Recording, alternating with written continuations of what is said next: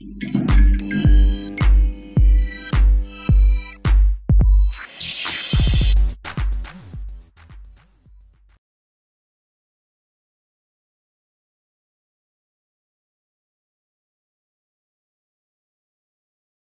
Jo, Peter, wir kommen zum Abschluss. Ja, wir haben ja von, von diesem Land gehört und von irgendwelchen Leuten, die da regieren. Und jetzt reden wir über Autos, die da über die Straßen brechen. Genau, da sind oder? wir in dem Land mit dem König Karl schon ein bisschen weiter. Und jetzt sind wir, wer den Running Gag, wer bei uns blieb, der wird den Running Gag verstehen, sind wir bei König Kurt angelangt. Und äh, ja, Kurt und Manuel, auch von Kegon, werden uns einen interessanten Vortrag über eine interessante Industrie Genau, auch hier werden wir gleich auf Konserve umstellen, ähm, aber die, wir gucken gemeinsam drauf und äh, am Schluss äh, dann QA. Äh, Manuel, Kurt, wollt ihr noch ein paar Worte? Ja, kann ich machen. Also wir waren ja in der Vergangenheit mit König Karl und wir sind jetzt in der Jetztzeit mit König Kurt. Und äh, Kurt Tesla ist ja so ein Thema, ne? Da redet irgendwie so die ganze Welt drum. Und wir haben uns so mal ein paar Gedanken dazu gemacht, gell? Genau, haben wir, weil irgendwie scheint es ja, äh, dass Tesla irgendwie sich ganz anders verhält wie der ganze Rest der Welt und äh, das hören wir uns jetzt vielleicht einfach mal an, oder? Kann man viel, kann man viel daraus lernen. Wir sind gespannt.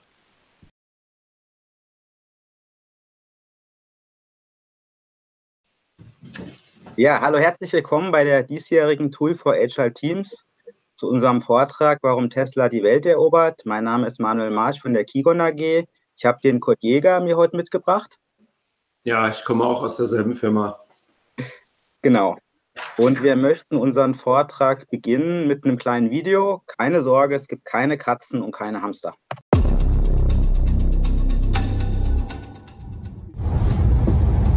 Hearing is nice. Yeah, for, for non-sporty cars, pretty good. What's the battery pack say? It's uh, 55 to 83.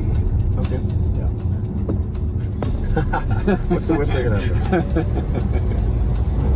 Does it have any like lane following or anything like that? Or? Yeah, it has. Uh, we have, uh, let's say, the typical, I would say, German state-of-the-art uh, lane keeping. Uh, emergency uh, assist systems, lane keeping is working quite nicely. I would say it's a bit better. You can turn around. just turn back. Yeah, turn around. Yeah.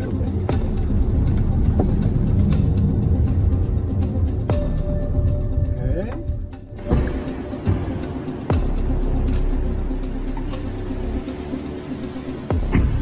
You know, this is a mainstream car, not a race. yeah, just seeing what its acceleration like. Ja, Kurt, was, was haben wir gesehen? Also der VW-Chef und äh, der Elon Musk von Tesla sind zusammen Elektroauto gefahren mit einem VW und hat eigentlich alles so funktioniert soweit, oder? Ja, funktioniert hat es schon. Aber ähm, naja, was hat er gesagt? Ganz freundlich, das mit der Acceleration wäre nicht so toll gewesen. Und ich glaube, die sind da auf dem Flugfeld gefahren, oder? Kann das sein? Ja, gut. Boah, also ich meine, man kriegt jedes Auto einigermaßen zum Fahren, wenn es sein muss. ja, Lass uns okay, doch. Das heißt, ja. Das heißt, äh, VW hat es doch noch nicht so ganz geschafft, an Tesla ranzukommen. Ich glaube das, glaub das lange nicht, dass sie das geschafft haben. Ich meine, äh, die versuchen jetzt aufzuholen, ne? aber dazu müsstest du ja schneller sein als Tesla. Und ich glaube, wir können ja mal ein bisschen zurückgucken, äh, wie die das eigentlich gemacht haben vor ein paar Jahren, wie das angefangen hat. Mhm. Tja, was sehen wir da? Ein Auto, oder? Ich glaube, ja. das war das, das allererste Elektroauto, das Tesla versucht hat zu bauen oder gebaut hat eigentlich. Und ich finde, da gibt es unten links und rechts noch so zwei kleine Bilder, die äh, eine ganze Menge erzählen über dieses Auto. Also erstmal, das Auto ist, existierte ja vorher, das haben wir einfach nur umgebaut. Und äh, das Erste, was ich schon unheimlich bemerkenswert finde, ist das, wo der gelbe Pfeil drauf zeigt. Das heißt, die haben äh, bestimmte äh, Visionen mit dem Auto gehabt. Ne? Die haben gesagt, hey, pass auf, wir bauen ein Auto mit einer besseren Beschleunigung als ein 911er Porsche und mit einer Reichweite von größer 400 Kilometer. Also einfach mal gesagt, das ist die Vision. Ne? So, und dann haben sie angefangen zu bauen. Und dann sieht man da so ein bisschen, ähm, dass da war nicht genug äh, äh, Platz für die Batterie. Oder die Batterie, die drin war, die hat halt keine 400 Kilometer, sondern nur 300 gefahren. Ne, was machen die? Die nehmen einfach eine Flex, ja, schneiden mal ein bisschen durch, machen ein bisschen Platz, kommt ein T-Träger rein, schwuppdiwupp und dann haben wir wieder Platz für Batterien. Ne? Das heißt, der Wagen, der da genommen wurde, der wurde verlängert, damit die Batterien reinpassen. Mal das eine, was cool ist. Und das nächste, was man sieht, ist, die Batterien, die da eingebaut wurden, sind Standardbatterien. Ja? Standard-Laptop, einfach von der Stange runter. Davon natürlich eine ganze Menge. Aber das ist natürlich schon ähm, eine coole Nummer, das dann einfach mal so zu probieren. Ne? Mhm.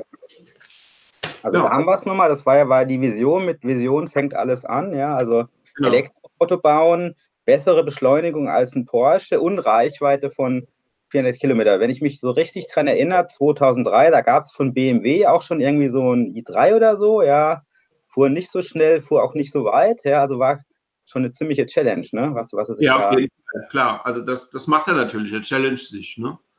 Und äh, ich meine, man sieht ja dann auch ganz schön, wenn man das mal ein bisschen prinzipieller betrachtet, äh, was er da eigentlich gemacht hat. Ne? Also das heißt, er hat halt eine Vision gehabt, die, die ist challenging, sonst ist er langweilig, ist auch keine Vision. Und die implementiert er halt inkrementell. Ne? Also Prinzip Methode ist, du hast eine Vision, du hast ein Hypothesis-Statement, ne? also die 400 Kilometer willst du auch hinkriegen. Ähm, und dann gehst du mit einem Minimal Viable Product her und wirklich kleinstmögliche Experimente her, jetzt am echten Auto, weil sonst kriegst du es dann nicht verifiziert ja, und bastelst das halt stückchenweise so lange auf, bis es funktioniert. Handgebaut. Hat ziemlich viel von agil, was wir es heute nennen würden. Ja, ich, ja, ich glaube, äh, Craftsmanship ist auch ganz gut. Ne? Also Software Craftsmanship, sehr viel Agiles dabei. Ja, klar, natürlich. Ganz viele Elemente davon. Und Achtung, wir sind gerade in der Hardwarebranche. Ne? Also das war jetzt Hardware, nichts Software. Ja, ja. Ja, ja, ja, ja, ja, ja genau. Ja, genau. Und in Deutschland geht das immer nicht, weil mit Hardware geht das ja nicht. Ja, ja. ja. Okay, gehen wir, gehen wir mal ein Stück weiter, weil äh, ja. so, ich sag mal, ein Auto hinstellen und damit rumfahren ist ja ganz nett, aber wir müssen ja irgendwie mal ein bisschen, genau. mehr gehen. Ne? Da haben wir, haben wir auch was vorbereitet. Crash Test executing in 3, 2, 1.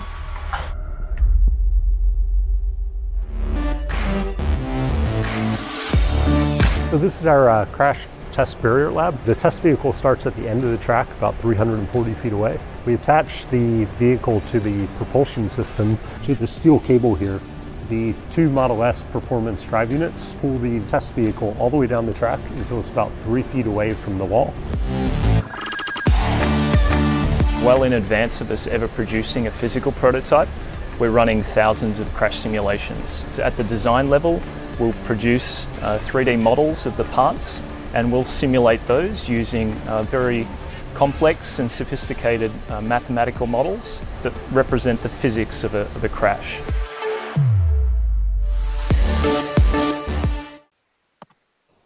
Es tut mir immer so weh, wenn die Autos gegen die Wand fahren, ne? Oh. Ja, ähm, das tut sogar da richtig weh, weil die die ja äh, dauernd gegen die Wand fahren. Die fahren ja nicht nur ganze Autos gegen die Wand, sondern die fahren ja äh, das Zeug vorher einzeln gegen die Wand. Ne? Also die nehmen die nehmen Reifen, schmeißen die gegen die Wand, Cockpit wird gegen die Wand geschmissen, Chassis gegen die Wand geschmissen, wird alles gegen die Wand geschmissen, weil die halt äh, Lean Production machen. Ne? Das heißt, die lernen, auch wieder lernen, sehr, sehr früh, indem sie halt schon mal Einzelteile gegen die Wand schmeißen, kann man auch schon mal eine Menge messen als Ingenieur, oder indem man halt dann auch mal modelliert ne, und dann ein Modell hat und äh, quasi die Autos als Modell gegen eine virtuelle Wand fahren lässt. Und ähm, das ist halt schon ein irrer Unterschied zu dem Thema, was die deutschen Automobilhersteller tun, die das Thema Crashtest ganz am Ende am besten noch delegieren auf ein anderes Unternehmen. Ja, dann lernt das andere Unternehmen übrigens sehr viel mehr über das gecrashte Auto als der Besteller, also der, der es beauftragt hat. Und das ist halt ein wesentlich anderer Approach. Ne? Das ist total anders. Und das machen die ja nicht nur mit den Autos, ja, sondern das machen die ja auch mit den Fabriken. Ja, das heißt, die werden auch nicht komplett durchdesignt und dann noch ein bisschen feingetuned, sondern die werden iterativ, inkrementell werden die gebaut. Und ähm, das ist auch natürlich wieder ein kompletter anderer Approach. Und somit gehen die dann sukzessive, ne, so vom Handwerk nach außen in eine Serienproduktion rein und lernen dabei extrem viel. Und äh, das, genau, das kann man sich dann auch noch mal ein bisschen prinzipiell angucken, ne, von der Manufaktur zum Serienhersteller. Model S Lean Production, was heißt das? Naja, die machen halt echt eine Lean Dev Prod mit VIP. Ne, die machen nicht alles gleichzeitig. Da wird nicht irgendwie äh, 40 Projekte gleichzeitig bestellt. Blödsinn. Da wird eins gemacht, wird ausprobiert, gelernt, gemacht, ausprobiert, gelernt, gemacht, VIP gleich eins. Oder niedrig auf jeden Fall mal. Ne? Und was noch ganz cool ist, die machen natürlich auch nicht als erstes eine Plattform. Also ich meine, Plattformen äh, in der Automobilindustrie super beliebt, ja, weil die kannst ja reusen. Ja, aber dann kannst du halt auch nicht mehr viel ändern, ja. Und äh, was er macht, er macht einfach mehrfach parallel das für jedes Modell, hat gar keinen Plattformansatz. Also er kann dann Dinge wieder verwenden, das tut er schon, aber nicht, indem er von Anfang an Plattform denkt, sondern er denkt von Anfang an erstmal Auto. Er denkt an seinen Kunden und denkt ans Auto. Ja. Und was er dann natürlich auch macht, er, er bindet schon seine Zulieferer ein, aber mehr über ein Kooperationsmodell ja, und nicht über eins, ja, wir machen hier mal, äh, ich sag mal, Kostendruck und bis das Blut spritzt. Ja, wenn du Innovation haben willst, brauchst du Raum, brauchst du Platz für Innovation. Wenn es Blut spritzt, äh, wo hast du da Platz für Innovation? Hast du gar keinen Platz. Das ist die Daumenschraube direkt auf dem Nagel und da ist kein Platz. Ja. Und insofern dann zu glauben, dass die Zulieferer die Innovation für die Automobilindustrie machen, das ist natürlich äh, ein Fake. Ja. Also vielleicht, kommen wir da ganz zum Schluss nochmal dazu, vielleicht schafft das eine Conti oder eine Bosch, aber diese kleinen Zulieferer, die da unterwegs sind, ganz, ganz schwierig. Und was du dann dafür natürlich haben musst und machst, das ist halt dann auch ein Lean-Portfolio. Das heißt, er überlegt sich sehr wohl, ähm, wie er die Modelle aufeinander folgen lässt und was er für Hypes benutzt, um dann ähm, weiter mit kleinem WIP weiterzuentwickeln und weiter in die Serienproduktion zu gehen. Ja, und Portfolio ist ja schon schön. Also wir hatten ja den Roadster, das erste Modell, was so ein bisschen Spaßauto war. Also macht ja auch Spaß, aber ja. kleine Zielgruppe, nicht so anspruchsvoll. Dann sind wir jetzt beim Model S jetzt, also äh, ja. momentane Cash-Cow. Ja, äh, Luxussegment, äh, trotzdem E-Auto, trotzdem Performance, trotzdem gut, ja, aber jetzt hört er ja nicht auf. Also der geht ja, der geht ja direkt weiter. Schauen wir uns das nächste an, ja.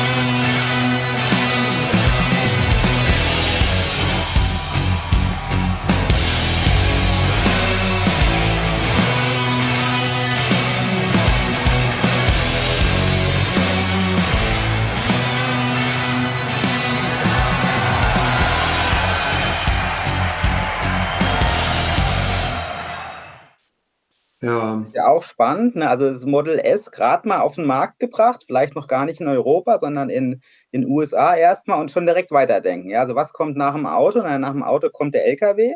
Ja?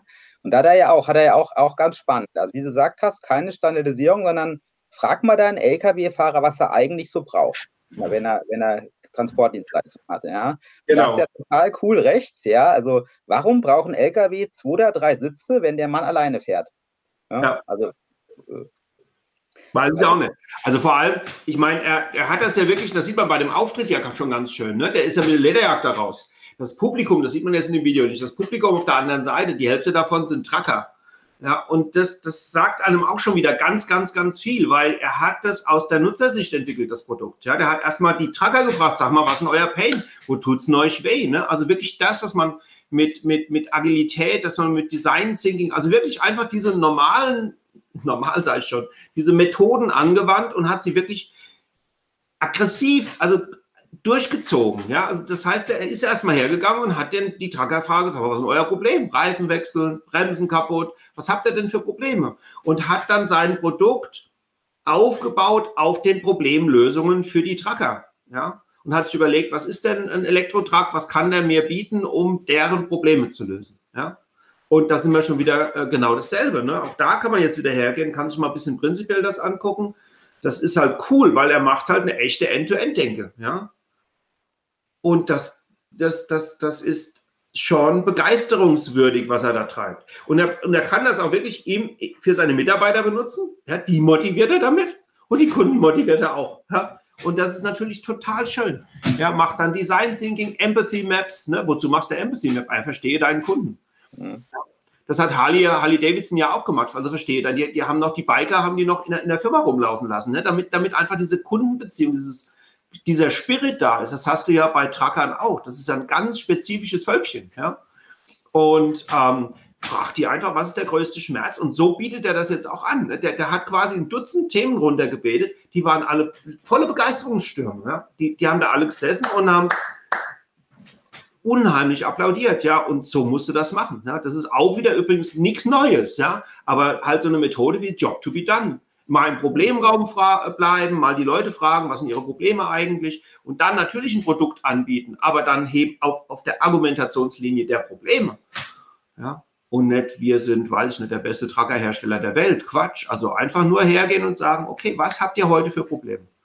Ja, spannend ist ja auch die Geschichte. Also, wenn du jetzt denkst, Elektrotruck, ja, so, so ein Truck, der fährt ja. Also, der fährt ja eine bestimmte Strecke, ja. Und die müssen ja, ja auch mal tanken oder so, ja. Und da hat er aber genau wie beim Porsche auch, der hat ja gesagt, Trucker, wie viel fährst du so am Tag? Und dann sagt der Trucker, was weiß ich, 600 Kilometer und dann ist die Batterie genau für 600 Kilometer, weil wenn der Truck über Nacht steht, kannst du auch laden. Ne? Also nicht mehr nicht mehr, ich ja. tanke irgendwie möglichst groß voll, geht ja bei Elektro nicht Batterie zu groß, ja, sondern ja. wirklich genau äh, Tracker, welche Strecke fährst du und dann kriegst du die Batterie genauso designt, dass du für einen ja, Tag. Der, einen der Tag. hat sich ja sogar noch gechallenged, weil äh, das ist ja keine Frage, wie, wie lang, wie, wie weit darf ich fahren, sondern wie lang darf ich fahren, das ist ja Lenkzeit.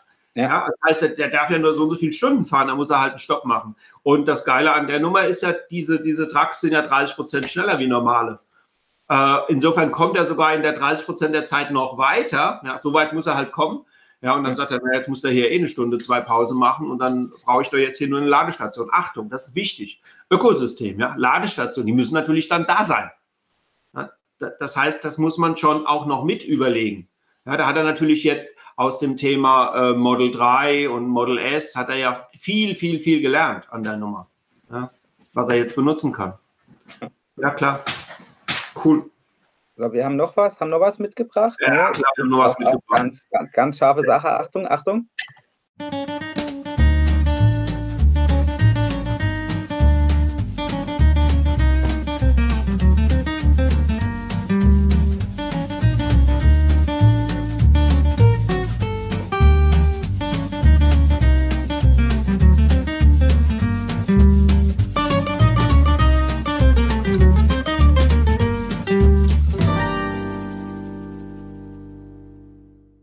Auch schöne Sache hier. Ja, für wen baust du das Auto? Baust du es für die Frau oder baust du es für einen Hund, ne? Ja, und der, der bezahlt, ist nicht immer der, der es benutzt, ja. Und auch da wieder so ganz einfache Nummern, ja, sich einfach mal zu überlegen, äh, was, was machen eigentlich Autofahrer mit Hunden? Und immer wieder diese Problematik, dass die halt in den zu heißen Autos umkommen, respektive dass Leute von draußen, die da vorbeilaufen, ne, übrigens auch denken, Gott, geht's dem Hund schlecht, was ist denn das für ein Mensch, ja. Deswegen wird er auch dick und fett 70 Grad Fahrenheit angezeigt, ne, damit auch von außen, man, Achtung, das sind drei Leute, die hier im Spiel sind, die er hier mit, mit, mit verbaut hat, ja. Das ist eine super Nummer, natürlich. Ja, auch das wieder die Möglichkeit halt mal zu differenzieren und den User und den Kunden mal zu unterscheiden. Ja? Weil das hat er doch nachträglich, das hat er doch nachträglich per Software gemacht, oder? Das war doch, war doch auch so ein Feature, was er so smooth nachgeschoben hat, ne? Ja, genau. Ich meine, das ist das zweite Beispiel jetzt hier, ne? dass er sagt, naja, jetzt haben wir, äh, er, er, kann halt auch wirklich iterativ Inkremente nachliefern, ne? also bei einem Auto, was draußen ist. Auch da tun sich andere sehr viel schwerer, ja. Das heißt, der, äh, der hat halt die ganzen Sensoren schon verbaut. Die Software war aber noch nicht so gut, um jetzt selbstfahrende Autos zuzulassen. Das hat er jetzt alles nachprogrammiert, nachentwickelt und äh, jetzt haut er wirklich einfach mal ein Beta-Release raus. Auch das, das kann der halt machen, ähm, indem er nur eine bestimmte Anzahl von Nutzern freischaltet. Ja, der hat also volle, volle Kontrolle über die Art und Weise, wie dieses Auto genutzt wird. Ja. Muss man auch, wenn man selbstfahrende Autos hat. Ja, geht ja gar nicht mehr anders. Da ist ja dann auch gar nicht mehr der Autofahrer versichert, sondern das, äh, der Autohersteller. Also bei Versicherung muss man da auch nochmal drüber nachdenken. Es verändert das Business total. Ja? Soweit zum Thema kleine Veränderungen. Mhm, von wegen. Ja. Nee, da haben wir auch, genau, haben wir auch nochmal, haben wir auch nochmal, äh, wie immer, so ein bisschen unsere Übersicht. Also halt ganz wichtig, äh, Kunde versus Käufer versus Nutzer. Das haben wir im Tracker auch schon gehabt. Also nicht jeder genau. Truckfahrer kauft sich ja seinen eigenen Truck. Also die meisten würden gern, aber vielleicht viele nicht. Ja. ja. Also mal genau die Differenzierung, von wem bekomme ich das Geld, für wen mache ich das Auto, was auch mehrere sein können, wie wir in dem Video gesehen haben. Wer sind die Leute überhaupt? Also auch wieder Persona. Job to be done und halt, was ich halt so faszinierend finde, ja, äh, du baust einmal ein Auto und tust es ständig weiterentwickeln. Und zwar nicht in deinem Labor und nicht in deiner Fabrik, du entwickelst es weiter, während es draußen ist. Während es draußen auf der Straße ist, wo eigentlich ein Auto ja auch umgehört. Also keiner, die Autos irgendwie bei der Entwicklung ähm, rumstehen haben. Ne? Ja, klar. Da kannst du dann auch gar nicht mehr Projekt, projekthaft denken, sondern musst du Produkt, produkthaft denken. Ne? Das ist echt der Product Lifecycle, der hier läuft. Und ja. das ist natürlich total, total cool, ja. Wenn du dann nicht äh, äh, denkst, irgendwann ist das Projekt abgeschlossen, jetzt lieferst du das Gerät, ein Quatsch. Ja, der muss ja auch in den Werken, wenn, wenn er diese Updates fahren will, muss er sogar in den Werken, die die Autos produzieren, muss er dauernd Updates fahren. Ja? Das heißt, der, der, der wird beide Seiten wird der äh, äh iterativ inkrementell weiterentwickeln. Hm. Und das hat er ja gelernt. Er hat ja genau das gelernt, wie komme ich eigentlich vom, vom, vom, vom, vom Craftsmanship, also wie komme ich vom Handwerk hoch in die Serienproduktion, ja, weil da, da, da, da bewegt er sich ja dauernd selbst, ja, in dem Umfeld, seine Firma. Genau, das hast du vorhin ja schon gesagt, mit diesem Ökosystem, ne? Also ja, ähm, genau, geht ja genau. nicht, also natürlich geht es irgendwie ums Auto, weil werden ja noch Autos verkauft, aber es geht da gar nicht mehr so ums Auto. Also wenn man sich da dieses Tesla-Verkaufsbude sieht ja so ein bisschen aus wie ein, wie ein Coffeeshop oder so ein Modeladen. Ja? Also nicht diese Paläste, die wir da von anderen Herstellern genau, haben, genau. ja, also, äh, wo du da gnädig in den Showroom rein darfst, sondern das äh, gehst nach dem Shopping, gehst mal so in den Tesla-Store, gehst mal vorbei, setzt mal einen Tesla rein, setzt mal schnell. Ne? Ja, die Auslieferung ist ja noch, noch puristischer, ja, also nichts mehr große Show. Dann aber auf der anderen Seite, ne, wenn man sich das Thema Wartung und Service anguckt, das ist ja total äh, anders. Also statt dass ich meinen Wagen in die Wartung oder zum, in die Reparatur bringen muss, ja, meldet sich der Wagen bei Tesla und Tesla sagt, da müssen wir mal, das müssen wir mal was austauschen. Ja? Irgendwie ist was, äh, wird demnächst äh, kaputt sein. Und dann äh, geht Tesla einfach her und fährt zum Wagen hin, da wo er halt steht. Ja, wir wissen ja, wo der Wagen steht. Da musste quasi der Besitzer nur noch sagen, ich mache den Wagen jetzt mal auf für die Tesla-Service-Leute und während der am Arbeiten ist, wird der Wagen re äh, repariert. Ja, also kommt die Werkstatt zum Auto. Das ist ein totaler Mindset-Change. Und das muss man natürlich mal, das muss man natürlich denken können. Ja? Also man muss da mal out of the box raus aus dem, aus dem Denken, dass immer die gleichen Leute immer die gleichen Prozesse haben. Blödsinn. Also der hat, der hat schon kein Händlernetz mehr und eine Werkstatt braucht er auch demnächst nicht mehr. Ja, die fährt ja, die, die ist quasi da out of the gas. Ja. Genau, also hast du ja schon gesagt, auch, ja, also denk halt raus aus der Box, verkauf nicht Autos, sondern gib den Leuten eine Möglichkeit für Mobilität, ja, äh, Ende zu Ende, Job to be done und halt diese variablen Kundenfenster. Also ich, ich weiß ja noch, ja, wenn, wenn du einen Werkstatttermin haben willst, was passiert? Ja, du gehst da hin, dann heißt ja 8 Uhr weg, 9 Uhr weg, 10 Uhr weg, 12 Uhr könnten sie kommen. Ja, so, dann gehst ja. du um 12 Uhr, dein halber Arbeitstag ist irgendwie am Ende, gehst mal in die Werkstatt, ja, und dann nehmen sie ein Auto mal gnädigerweise ab und dann stellst du dich beim Leihwagen nochmal an, dann heißt es aber bis 17 Uhr, weil dann wollen wir ja zumachen. Genau, ne? genau, genau so ist es, ja. Und ich meine, das ist halt etwas, dass er halt wirklich hergeht und Rahmenbedingungen in Frage stellt. Das, das, das ist halt schon ziemliche Revolutionärtum, ja. Aber halt mit den Effekten, die es hat. Und er ist halt sehr stringent auf Kundennutzen fokussiert und, und findet dann die Ecken, wo er plötzlich neues Geschäft aufbauen kann, wo er sagen kann, hey, das ist ja, das kriegen wir ja auch ganz anders hin. Ja, warum sollten wir das denn weiter so machen wie bisher? Ja, und deswegen ist er da halt auch unheimlich weit vorne. Ja, und, und hat, das, das ist ja nicht nur die Batterie, das ist nicht nur das selbstfahrende Auto und der Computer. Das ist dieses Out-of-the-Box-Denken, das er hat. Ja? Und ja. das dieses, dieses Unternehmen kultiviert. Das ist ja nicht nur eine Person. Aber ja. Aber jetzt haben wir ja, jetzt haben wir ja, also wir haben lange zugeguckt als Deutsche, sehr lange, ja, aber mhm. guck mal, jetzt, jetzt, jetzt haben wir es doch geschafft, ja. Also Porsche hat es doch jetzt endlich geschafft. Ich weiß nicht, Nürburgring oder wo das war, ja, ja. also der, der Taycan 0,1 schneller als der Tesla. Ja, also jetzt sind wir doch wieder, jetzt sind wir doch dabei, Kurt. Ne? Das sagst du. Ich glaube das noch lange nicht. Weil ich meine, ähm, das eine ist ein Sportwagen, das andere ist eine ganz normale Liniekarre. Erstmal der eine kleine Unterschied. Die, Sport, die Sportkarre kostet 185.000, die Linienkarre 145.000. Da kann man doch sagen, okay, sind aber jetzt gleich auf, gleich auf. Ne? Ich glaube, eine Woche nachdem das passiert ist, hat Elon Musk gesagt, in, in einem Jahr, Achtung, in einem Jahr in 2021 kommt er mit einem Wagen raus, der äh, von 0 auf 100 in zwei Sekunden, Maxgeschwindigkeit 322. Der wird den Rundenrekord für Nürburgring für Serienfahrzeuge machen, Reichweite 800. Sechs, Achtung, 640 Kilometer und zum Preis von 140.000 US, 140 US-Dollar. Und das ist natürlich, das schafft Porsche niemals nicht in dem Jahr. Never. Die brauchen da wieder fünf für. Und äh, deswegen, ja, das kann sein. Also nach dem Jahr das Model S, wie viele Jahre gibt es das jetzt schon?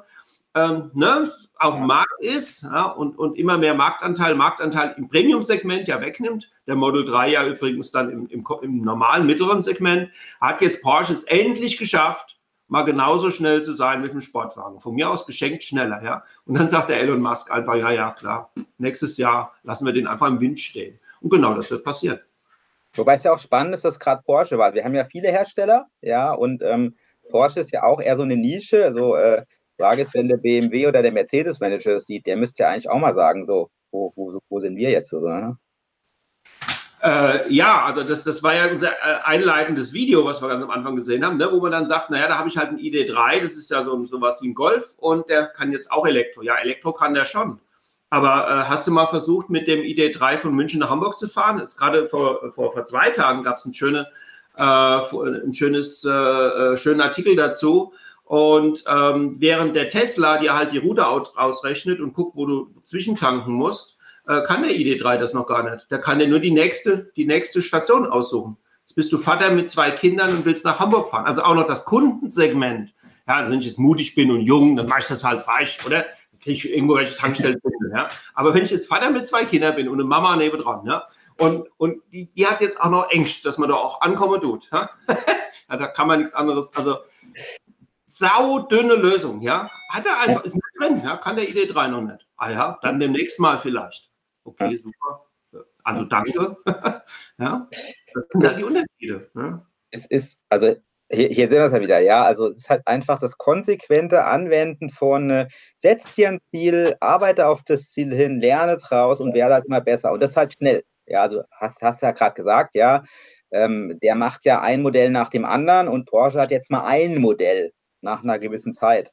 Ja und ähm, halt komplett die Organisation in Frage stellen. MVP, ich glaube, der, der denkt und schläft nachts in MVPs. So, was kann ich morgen jetzt noch, noch irgendwie anderes machen? Ja, weil ich halt so faszinierend finde, das liegt, glaube ich, dran, dass Elon ein Physiker ist, der halt sagt, naja, wenn mir einer sagt, es geht nicht, das akzeptiere ich halt erstmal nicht. Ja, ich will erstmal wissen, dass es nicht geht.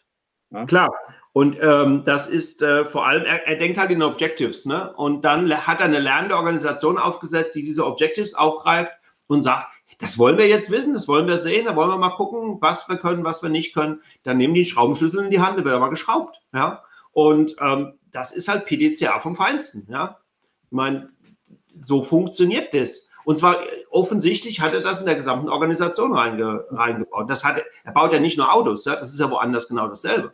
Der sagt ja auch, er will zum Mars fliegen, hin und zurück, Achtung, zurück auch. Ja? Und es darf eine halbe Million pro, äh, pro Mensch hin und zurück kosten. Ja, und was passiert? Naja, es werden Raketen gebaut, wo die erste Stufe alleine wieder landen kann. Ja, weil es ist ja nicht so, 500.000 nicht so viel Geld. Ja? Und das heißt, du musst ja dann überlegen, und da, da, setzt sich jeder im Unternehmen seine eigenen Ziele und sagt, hey, was müsste ich eigentlich tun, damit, das, damit diese coole Scheiß gemacht wird? Und das ist halt äh, genau das, was er tut. Ja, wobei Rakete, Rakete ist jetzt ein bisschen abgehoben, aber wenn man sich den Aktienkurs hier anguckt, ja, wieso, glaube ich, glaube ich, echt, echt so, ja. Ja. So kleiner, links oben sieht man es, kleiner Benchmark Tesla gegen VW, ja, war lange Zeit ausgeglichen, wenn man das so als Rennen mal anguckt, ja, war lange Zeit ausgeglichen, mal der eine vor, mal der andere vor und dann gerade gerade im Corona, ja, also wo alle sagen, oh, wie wetzen, ja, da äh, da passt dann wieder Rakete, ne? Also ab die Rakete. Das, das ist halt genau der Punkt, ne? Während die einen schwächeln, das siehst du ja hier nur als gerade Linie, äh, hat der andere halt die, genau diese Krisensituation genutzt und fährt jetzt an allen vorbei. Nochmal, das ist die Marktkapitalisierung oder das ist der Börsenkurs, ne? Das heißt, wir sind da ein Faktor 10, sehen wir da, ne? Und das sieht man ja auch ein bisschen an den beiden äh, Tabellen, die da rechts sind, ne? Also äh, Tesla generiert halt Kapital aus Vision und Zukunft. Siehst du wunderbar die Marktkapitalisierung liegt bei 300 Milliarden. Ja. Der Gewinn ist noch negativ. Der Umsatz liegt bei 22 Milliarden. Ja.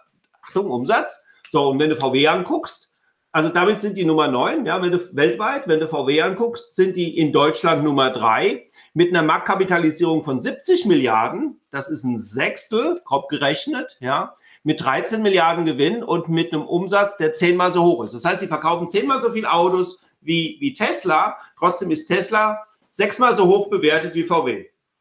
Das hat einen Grund. Das hat einen deutlichen Grund.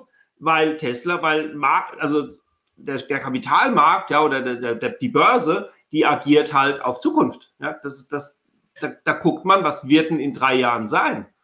Na, ich kann dir sagen, was in drei Jahren ist.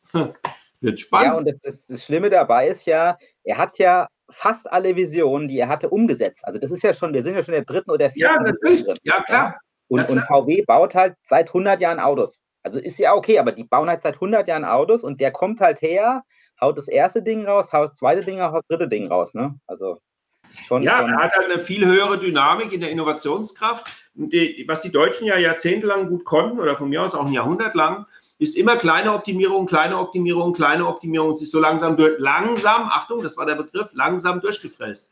Wir haben aber halt Accelerate, ja, das heißt, mit langsam ist nicht und der Markt dreht halt immer schneller, ja, und da muss man sich halt dann überlegen, was man macht. Aber wir können uns ja die Erfolgsprinzipien von Tesla auch nochmal noch mal angucken. Ähm, ne, was macht er? Er macht erstmal alles richtig.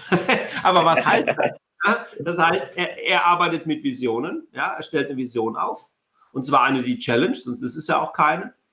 Ja, alles Existierende in Frage stellen. Nicht einfach hergehen und sagen, ja, das war schon immer so. Ja, also die, der dumme Spruch, den brauchst du halt dann nicht. Und dann aufpassen, dann mit kleinen, schnellen, also klein deswegen, weil schnell, schnelles Lernen, mit schnellen Experimenten anfangen. Ja, anfangen, ja, Reifen gegen die Wand hauen, Cockpit, habe ich ja schon mal, gegen die Wand hauen, Lenkrad gegen die Wand, einfach lernen, lernen, lernen, lernen, Chassis gegen die Wand hauen, lernen. Ja, PDCA konsequent nutzen und dann inkrement, inkrementell arbeiten und, äh, und lernen. Ja? Das heißt, eigentlich ist der Entwicklungsprozess und der Produktionsprozess gar nicht mehr so entkoppelt, wie das bei uns der Fall ist, wo wir dann noch mit Taylorism schaffen. Ja?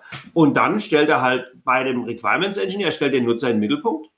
Ja, und er erweitert dann immer, also immer wieder den Nutzer fragen, sag mal, was ist dein Problem? Jetzt kannst du Auto fahren, was ist dein nächstes Problem?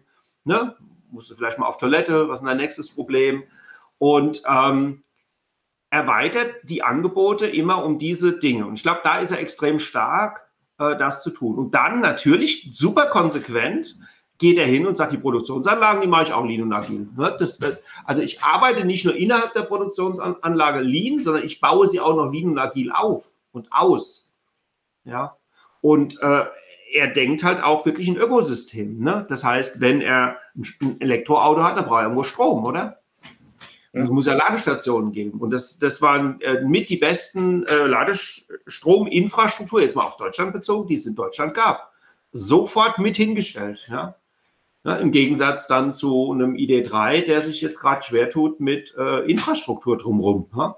Das Auto fährt, also wie gesagt, auf dem Flugfeld hingekriegt, Hacken. Ja? Und jetzt München, Hamburg. Hm, ja, und da sieht man halt, das sind die, diese Erfolgsprinzipien, die, die Tesla dann auch so, äh, so weit bringen ja, und so erfolgreich machen. Jetzt wollen wir zum Schluss aber doch noch ein bisschen. Also wir mögen ja auch deutsche Autos. Das ist ja nicht ganz. Ja, so jetzt müssen wir doch noch ein bisschen, ein bisschen so, so, so, so, so, so Starttipps. Ja, so also was wird man denn jetzt eigentlich machen, wenn man sagt, okay, der Tesla, der ist ja ganz weit vorne, der hat es verstanden, aber eigentlich ist er ja in meinem Markt unterwegs, ähm, wird er gern doch nicht, dass er mir ganz so viel davon nimmt. Ja, also ja. ich glaube, wir haben noch ein paar Ideen zum Schluss so, um das zu sagen, okay, äh, wie kann man darauf reagieren oder mitspielen? Genau. Also ich glaube, das eine ist jetzt mal ein bisschen, bisschen theoretischer, ist äh, dieses Thema äh, Start with the Why, Sinon Sinek. Also sich wirklich stärker nochmal Gedanken machen, warum, warum mache ich das, was ich hier mache? Was, was, ist der, was ist der Nutzen für einen Kunden? Was ist, was ist da hinten dran äh, der, der, äh, äh, der Demand? Why, nicht how, nicht what. Ja? Und wir verkaufen ja ganz oft immer übers What. Ja? Ich kaufe mir, also warum kaufe ich mir ein Apple? Ja, doch nicht, weil das ein Rechner ist und weil der rechnen kann. Ja, das können andere auch, ja, sondern weil da hinten dran eine ganze, ganze Philosophie hängt. Ja. Userzentrizität und, und, und. Ja, also da mal herzugehen und zu sagen, mit dem Why anzufangen. So, und dann vielleicht dann doch, ich hatte ja Bosch schon mal erwähnt, vielleicht mal eine kleine, kleine Bosch-Geschichte, die mich dann wieder ein bisschen äh, mutig stimmt, ähm, dass vielleicht doch noch ein paar gibt, die überleben.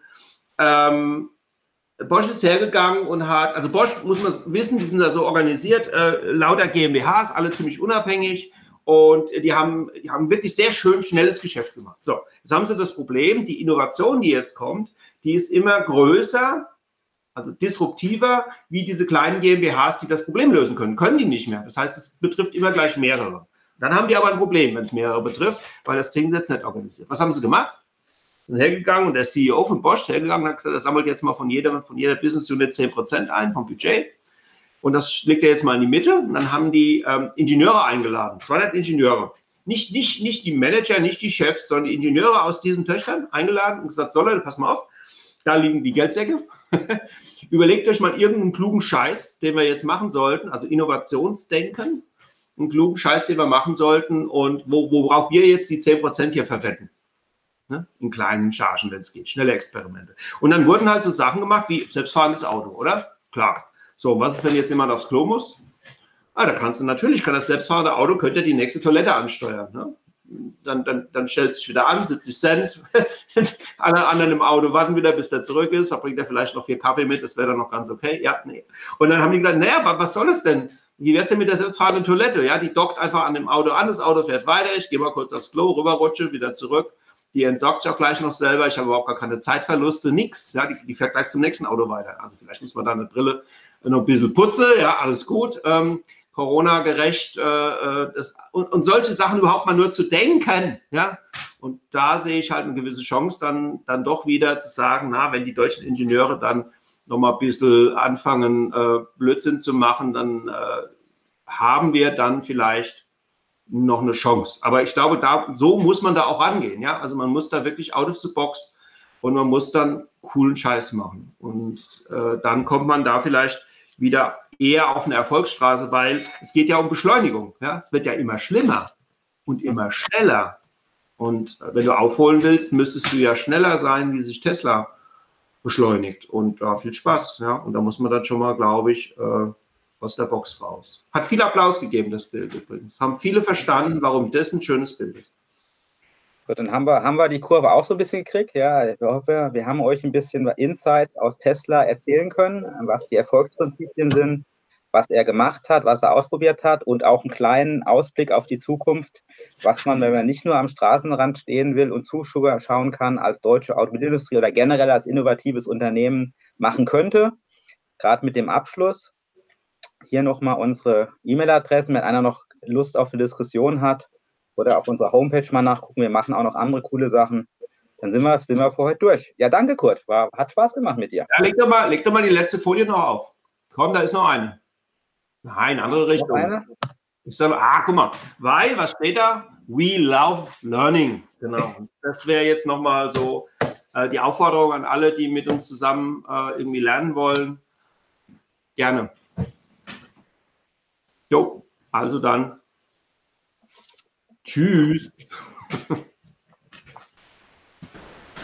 So, Peter, da wow. hat der König Kurt König gesprochen, Kurt hat und gesprochen und eine rege, eine rege, Diskussion angeregt. Ja, ich habe ja, selten ja. so viel Aktivität im Chat gesehen. Leider keine direkte Frage, die wir jetzt stellen könnten. Also war natürlich provokant, ja, und das triggert Emotionen. Eigentlich triggert er sowas wie, wenn Tesla ist super oder ganz schlimm, ja, gab es da dieses Hin und Her. Musk und Tesla sind gut dafür da, dass man da voller Emotionen Positionen austauschen kann. Eigentlich steht da auch dieses, dieses Spannungsverhältnis Verbrenner und E-Auto und dann gibt's halt welche, die das eine gut finden und die ähm, dann wieder andere, die, die für die andere Seite äh, sprechen. Was, was mir da ähm, ich hatte ja mit, mit, äh, mit Kurt und Manuel im Vorfeld ganz kurz geredet und dann habe ich auch mal ein bisschen recherchiert und auf was bin ich gestoßen? Handelsblatt äh, Artikel von vor, ich glaube, sieben Jahren, acht Jahre, ähm, äh, auf dem Titelblatt. Ähm, Daimler ist kurz davor, äh, Tesla zu überholen. Ja, also richtig so, jetzt ist es nur, da sind es noch zwei, drei Schritte und dann, ähm, weil ja auch Daimler ja auch in Elektromobilität mhm. äh, investiert hat und so weiter und so mhm. fort. Äh, und jetzt sind es ja eigentlich nur ein paar kleine Schritte und dann haben wir das Thema wieder vom Tisch. Äh, und jetzt am 27.11. auch wieder Handelsblatt, äh, Herbert Dies. Der Wandel wird sich in zehn meiner Meinung nach ein Klammer Fragezeichen, Jahren vollziehen, mit oder ohne Volkswagen. Also ähm, da denke ich auch an diesen Spruch, überholen ohne einzuholen. Ähm, äh, war ja auch schon mal ein sehr erfolgreiches Modell und ich glaube, das ist so der, das Spannungsverhältnis, in dem wir uns äh, bewegen und die Argumente, die jetzt ausgetauscht worden sind, auch im Chat, die sind ja alle relevant. Ja, natürlich haben wir ein Problem mit der Elektromobilität. Wo soll der Strom herkommen? Wie sind die sozialen Fragen? Braucht man das überhaupt? Gibt es nicht eine andere? Aber ähm, es gibt auf jeden Fall jemanden, der da eine Industrie durcheinander rüttelt ähm, ja. und auch konkrete Fragen ähm, äh, versucht zu beantworten, die wir halt mit den alten Ansätzen nicht beantworten können. Und ich glaube, das wird jetzt in dem äh, Vortrag gut herausgearbeitet. Äh, was sind denn eigentlich so Fähigkeiten, die man ausprägen muss, wenn man sowas machen möchte? Ja. Genau, äh, darum ging es uns ja. Wir haben Emotionen benutzt, also und Erfolg, Entschuldigung, Erfolg und Emotionen benutzt, um dann ja immer wieder Prinzipien hinzuschauen. Wir haben immer gesagt, okay, was macht denn der eigentlich? Und wir könnten jetzt das ganze Elon Musk-Thema rausnehmen, das ganze Tesla-Thema rausnehmen, würden diese Prinzipien hinstellen, würden alle gähnen und sagen, ja, das wissen wir doch alles schon. Ja, schon, wissen schon, aber machen ist das Thema. Ja, und äh, das ist ja auch unser Job, wenn wir jetzt mal angucken, was wir die letzten zehn Jahre gemacht haben in dieser agilen Transition, die wir machen. Es ist ja nicht, dass sich, äh, es gibt jetzt einen neuen Scrum Guide, gut, also das Wissen, ja, das ist ja limitiert. Ähm, das, darum geht es ja gar nicht. Da sind auch neue Sachen dazugekommen, alles gut. Aber das Machen ist das Thema. Und was Elon Musk halt zeigt, ist, dass man, wenn man das konsequent tut, und, und alle Dimensionen halt konsequent ausrichtet, dass man damit halt enormen Erfolg haben kann. Und das ist das, glaube ich, wo äh, im Moment ganz viele große Konzerne mit äh, ähm, ihr Problem haben, dass sie das eben nicht konsequent tun, sondern zig Dimensionen aufbauen, die sich gegenseitig behindern. Und Elon Musk baut Dimensionen auf, die sich gegenseitig befruchten. Das ist der Unterschied. Ja. Manuel. Ja. du hast es schön zusammengefasst. Also wir waren ja auch beim Erstellen des Vortrags ein bisschen erstaunt. Also die Prinzipien ist ja alles Open Source. Der hat jetzt nicht die Berater von irgendwo eingekauft, oder vielleicht hat er sie, aber bräuchte man nicht. Das ist alles Open Source, wie der Kurt gesagt hat. Nimm's, mach's, mach's konsequent und wenn du ein bisschen langen Atem hast, klappt's halt. Ja, also die Orchestrierung ist natürlich, da brauchst du dann, also um jetzt mal wieder Werbung für, für Coaches und, und Consultants zu machen, die Orchestrierung braucht halt Erfahrung und braucht es halt äh, äh, Standing und Überzeugungskraft. Also das heißt, es ist nicht nur Coaching, es ist auch, auch zum Teufel Consulting, ja. Äh, vor allem, wenn du nachher in die Management-Ebenen reingehst. Aber ähm, äh, eigentlich äh, geht es nicht darum, gutes Scrum zu machen hier, sondern eigentlich geht es darum, ein Ökosystem aufzubauen, wo er in Scrum gut leben kann um es nochmal so rum zu formulieren. Und das sieht man bei, das sieht man bei Tesla halt sehr schön. Ich meine, wir haben immer Elon Musk gesagt. Also wir meinten damit natürlich das Unternehmen, ja. Ähm, das war eine Verkürzung, Entschuldigung dafür. Ja, das ist nicht er alleine, sondern das sind eine Menge Leute, die da ähm, so ticken.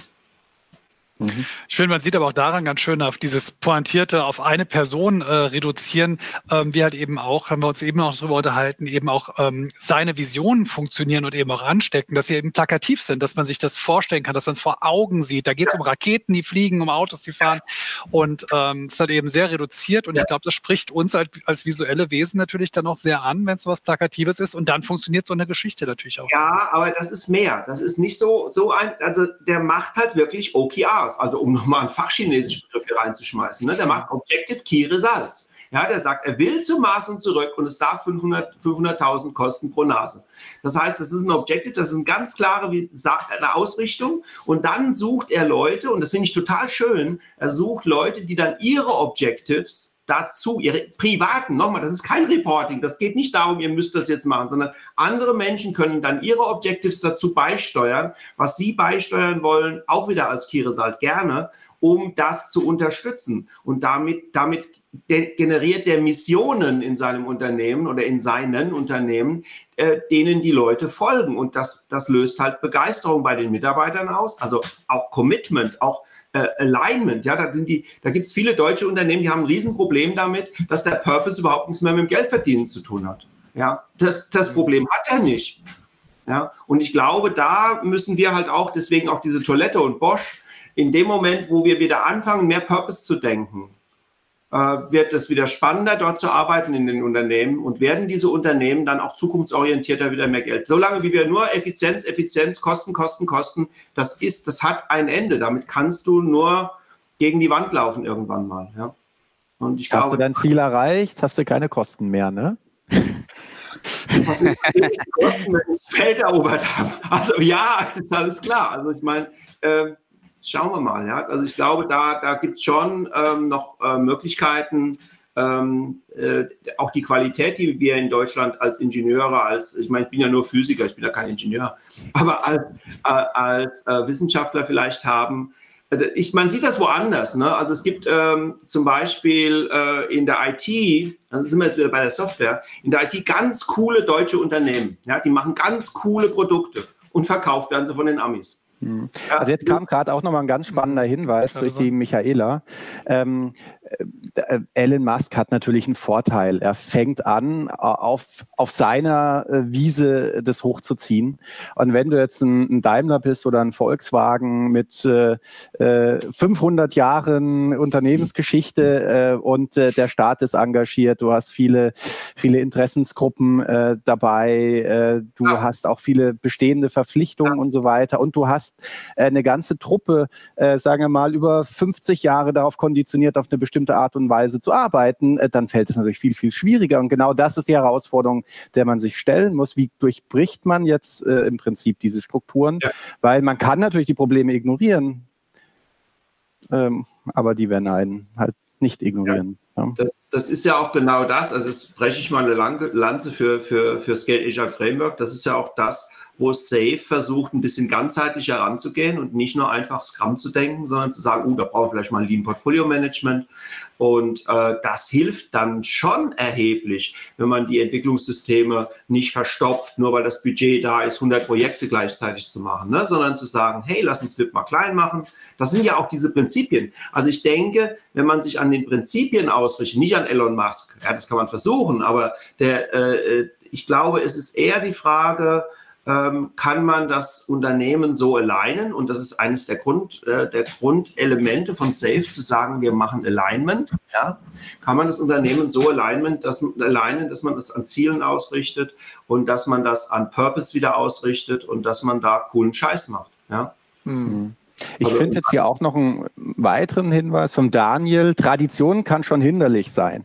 Ich ja. glaube, äh, das kann man so sehen, muss man nicht so sehen. Man kann ja auch was sehr Positives aus der Tradition äh, äh, kreieren. Also wenn ich ja. da mit Unternehmen arbeite, äh, haben die ja auch eine Geschichte oder eine Entwicklung hinter sich. Und dann arbeite ich mit, mit den alten gestandenen Ingenieuren und sage, hey, wir schieben jetzt mal diese bürokratischen Dinge, die sich halt so etabliert haben über die letzten zwei, äh, 20, 30 Jahre, schieben ein bisschen in den Hintergrund und wir fokussieren uns wieder auf die Arbeit. Und äh, das sind so diese Schritte, die man da auf. Und dann kommt der Stolz wieder, kommt das Leuchten in den Augen, genau, endlich genau.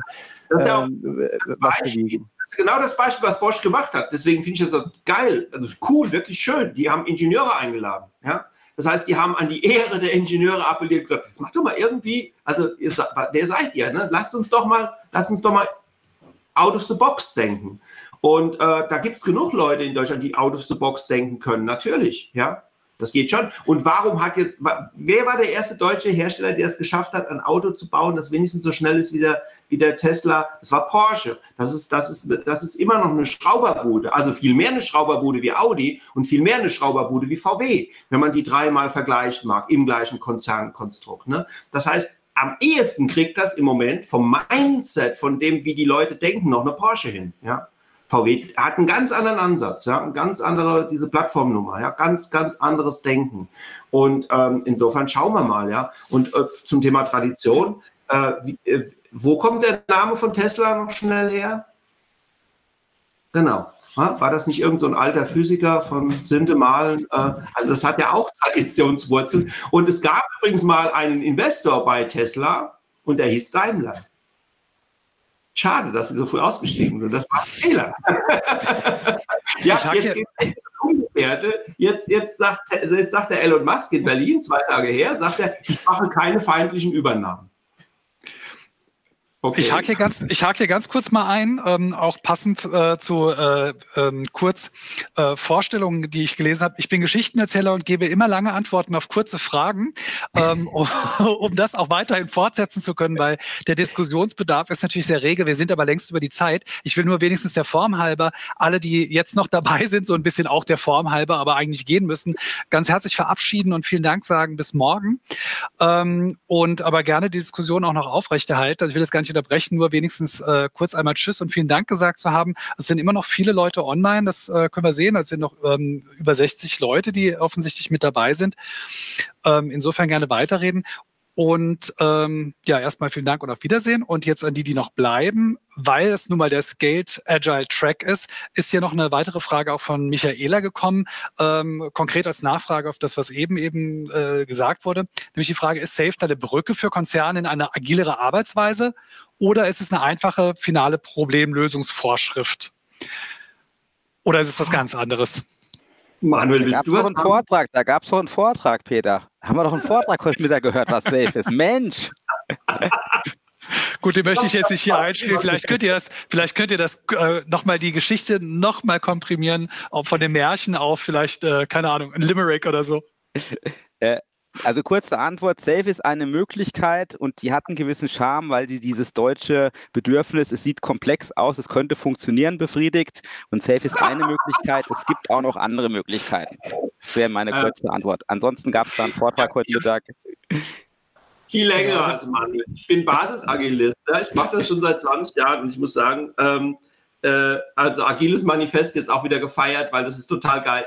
Also Scrum Guide gefeiert, weil das ist total geil, weil die haben den reduziert, ja, auf, auf weniger Seiten. Total schön, ja, hat mir total gefallen. Ähm, Safe hat halt einen ganz einfachen Ansatz. Es nimmt Scrum und macht dann selbstähnlich Scrum auf allen Ebenen.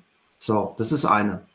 Also Ebene. Hm? Das gibt es in großen Konzernen halt, lieber Gott. Ja? Und der zweite, die zweite Antwort, Safe macht Lean. Und Lean ist total cool. Da gibt es eine Lean Kanban, also gibt es eine Kanban University, die regiert die Welt im Thema Product Production und, und die verbindet das halt. Und wenn wir DevOps denken wollen, da gibt es einen DevOps-Report, ja, der verbindet Dev mit Ops, der verbindet Agile mit Lean. Das ist total cool. Also Safe ist für mich der, der, das Öl, also wirklich, das, das kann man böse denken. Ja, äh, wenn man, wenn man so dieses Big Picture nimmt, ne? Und dann, dann gibt es da Ebene 1, 2, 3, 4. Ne? Irgendwann hieß es ja mal mit der Version 99, gibt es da 99 Ebenen. Das ist aber, das stimmt nicht. Ich drehe das immer rum und sage, wer ist der wichtigste Mensch im Kaffeeshop? Ist der Barista. Ja? Und dann ist das Team oben. Und die anderen sollen dafür sorgen, dass die gescheit arbeiten können. Ja, also man kann das Böse, man kann das Böse interpretieren. Das wird auch einige Kunden versuchen das immer. Wir haben heute einen wunderbaren Telekom-Vortrag gehört von der Deutschen Telekom die das auch erstmal versucht haben und die dann gemerkt haben, dass es so nicht funktioniert und die jetzt genau das tun, dass sie sagen, ah, wenn wir End-to-End-Wert haben wollen, müssen wir das anders denken. Value Stream Workshop ist wieder eine lange Antwort. Ja, also ja, ich, äh, ich, ich, ich mag das Safe sehr gerne, weil man es wirklich auch benutzen kann, um in großen Konzernen Brücken zu bauen und die Chance denen die Chance zu geben, aus der effizienzgetriebenen Nummer rauszukommen in eine effektivitätsgetriebene Nummer und sowas wie Time to Market und Lead Time und Kanban mal zu denken und zu instrumentalisieren und vielleicht auch mal in selbstorganisierte Teams zu kommen, ja? denen man übrigens 20 Jahre lang gesagt hat, sie sollen aufhören zu denken und arbeiten. Was totaler Blödsinn ist, wenn man Innovation haben möchte. Das also strengen wir uns weiter an, das vielleicht hinzukriegen. Ja? Genau. Oder die werden sterben. Ja? Das, also nochmal, das ist die Konsequenz. Die werden nicht überleben. Also da muss man sich nur die Fortune 500 angucken in Amerika, wie alt die sind, welche Unternehmen das noch sind und welche inzwischen rausgefallen sind.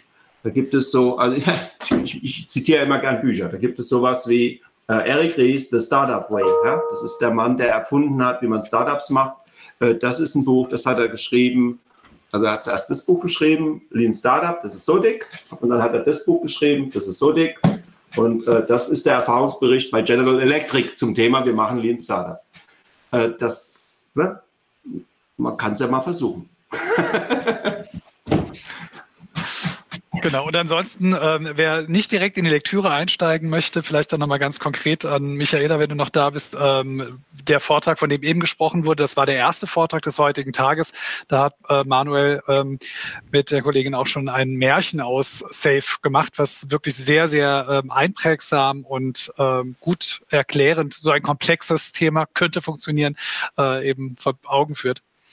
Also ich denke, der ganze Tag war spannend. Also auch die Geschichte hinter dem Tag. Äh, wir haben ein Märchen angefangen. Wir haben uns angeguckt, äh, Safe in kleinen Organisationen, die extrem schnell sich bewegen müssen. Dann kam Safe in großen Organisationen, wo es eben nicht darum geht, was aufzubauen. Und ähm, der Luke hat es Earn genannt. Also, dass man dann irgendwie das wirklich mal braucht, ja, äh, äh, sondern da geht es darum zu transform transformieren. Das war die, die Telekom. Und jetzt haben wir gerade einen Vortrag gehört oh, es gibt ja Bereiche in, unseren, äh, in unserer Wirtschaft, äh, wo wir sehr schnell transformieren müssen, wo wir gar keine andere Option haben oder die Option ist nur, dass es uns halt nicht mehr gibt. Und äh, da fallen so diese Einzelteile zusammen und ich glaube, wenn man dann alle Vorträge sich dann nochmal anguckt, äh, dann erkennt man da so richtig schön die Story, die dahinter steckt.